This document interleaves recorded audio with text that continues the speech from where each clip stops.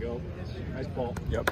like a little bit of a stop at the top. I won't stop at the top, but it feels like that to me. I try and swing all the way to the follow through, not trying to worry necessarily about impact of the golf ball. I'm trying to get as fast as I can there, but I'm trying to swing all the way to the follow through with no real inhibition all the way through, not trying to really hit at it at all.